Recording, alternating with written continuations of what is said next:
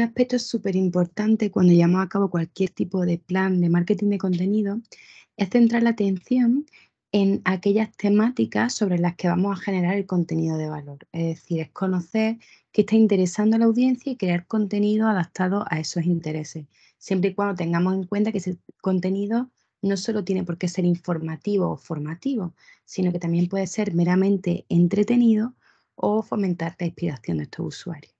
Así que realmente para fomentar esta elección de temática, em, en un plan de comunicación lo único que tendríamos que incluir sería un listado con esas temáticas sobre las que vamos a crear contenido. Pero es cierto que para hacer este listado no basta simplemente con la mera inspiración personal de lo que cree uno que puede funcionar o no, sino que hay que centrarse en hacer una investigación previa que nos permita detectar cuáles son aquellos temas, aquellos tipos de contenidos sobre los que la gente está buscando más información o están generando mayor engagement en redes sociales. Para eso va a ser muy importante que utilicemos, por ejemplo, herramientas como nuestra Keyword Research, si tenemos una estrategia de SEO previamente definida, y sobre todo investigar qué está haciendo la competencia, cuál es el contenido más popular e innovador que se está generando en el sector, qué contenido se está publicando por otros creadores de contenido relevantes, como pueden ser influencers, y qué contenido está consiguiendo más engagement y viralidad. ¿no?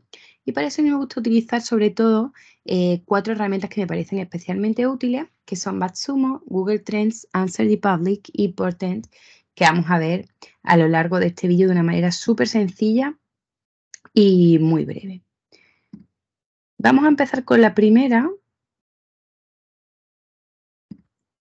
herramienta, que en este caso sería una herramienta de marketing de contenido bastante conocida que se llama BatSumo.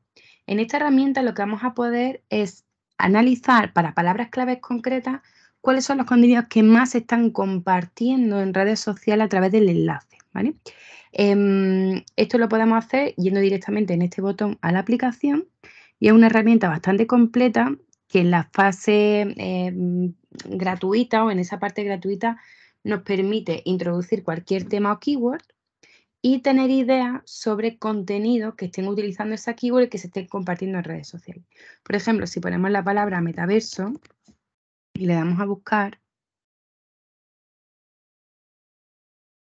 si nos centramos sobre todo en esta parte de aquí, vamos a tener una relación de artículos que para el horizonte temporal que le hayamos puesto y, la lengua que le hayamos puesto, por ejemplo, nosotros podemos poner en el año y la lengua podemos poner, por ejemplo, en español.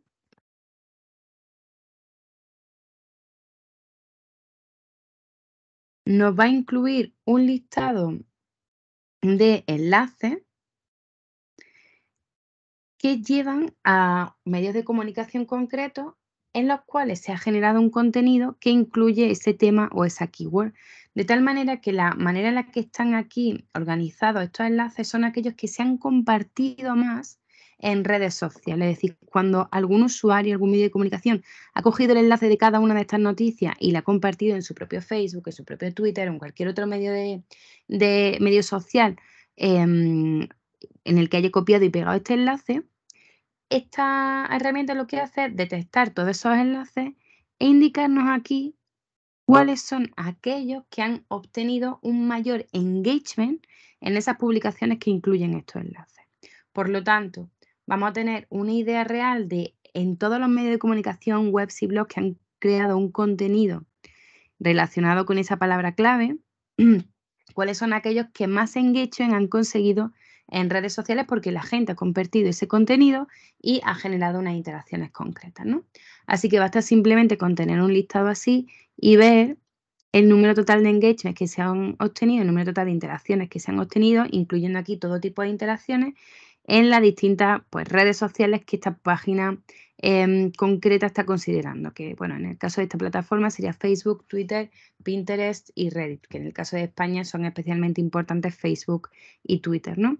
Pero además nos dan em, ideas adicionales em, a partir de esa keyword que le hemos incluido, ¿no? Pues, por ejemplo, eh, nos indica que podemos mm, tener eh, todas estas ideas con esta tendencia de búsqueda en los últimos 12 meses intentando además incluirnos un listado de cuántas veces al mes se ha buscado esta palabra clave concreta para el país que le estamos dando, ¿no? Incluso en el caso de que quisiésemos hacer cualquier tipo de campaña de Google Ads centrada en SEM, eh, nos podría indicar el, CPC medio que tiene cada una de estas palabras clave, ¿no?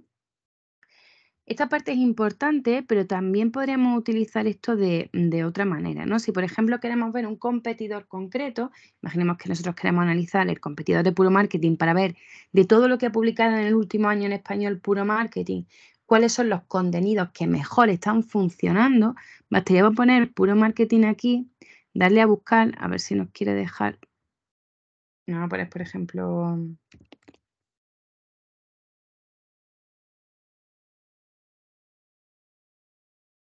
Vale, marketingdirecto.com lo vamos a poner aquí. A ver si nos quiere funcionar. Y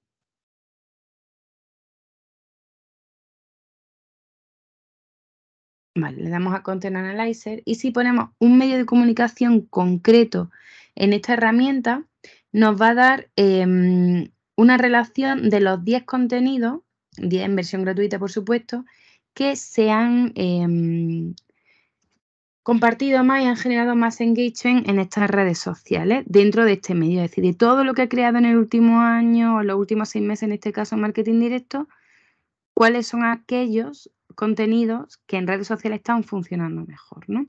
Así que en el caso de que queramos analizar la competencia, nos sirve mucho también para tener ideas sobre qué está funcionando mejor en todos estos medios competidores, ¿vale?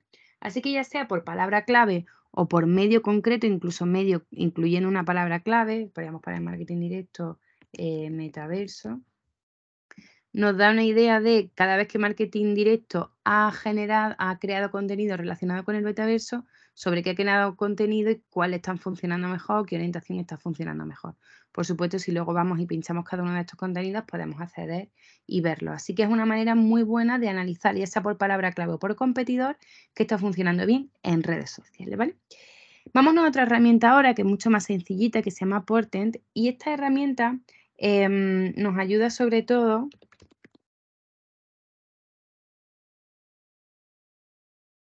en su parte concreta de idea generator o generador de ideas, si damos una palabra clave concreta, nos va a ayudar a generar sobre todo em, ideas en inglés de titulares, que muchas veces son titulares que parecen bastante surrealistas, pero que nos pueden inspirar bastante. Por ejemplo, para metaverso, 16 usos para el metaverso o em, cómo no, eh, bueno, cómo no saber sobre el metaverso no está haciendo Rockies, ¿no?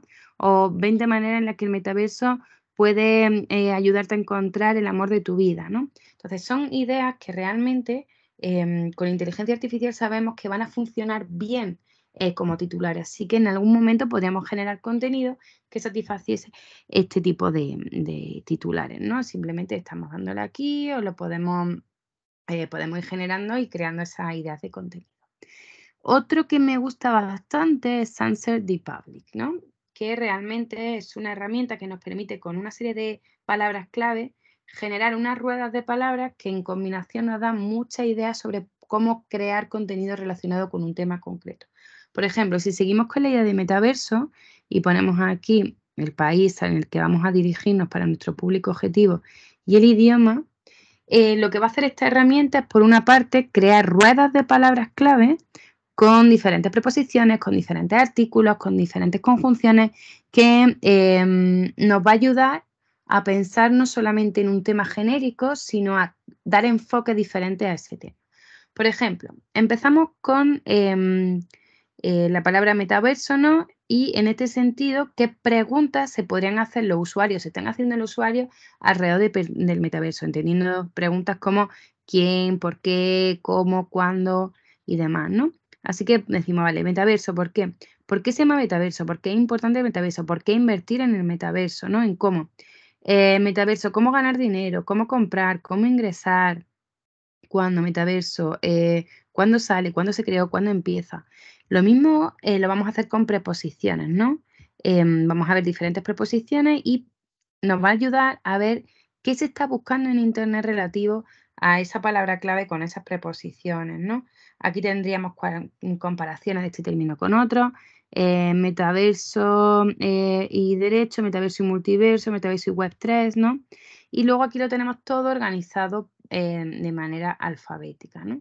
Lo que nos ayuda muchísimo, muchísimo, muchísimo, además de otras palabras diferentes, a tener ideas de contenido que en muchas ocasiones no se nos hubiesen ocurrido. Em, y luego, por supuesto, tenemos una última herramienta muy sencilla de utilizar y que casi todo el mundo conoce, que es Google Trends, ¿no? Donde básicamente podemos poner también un término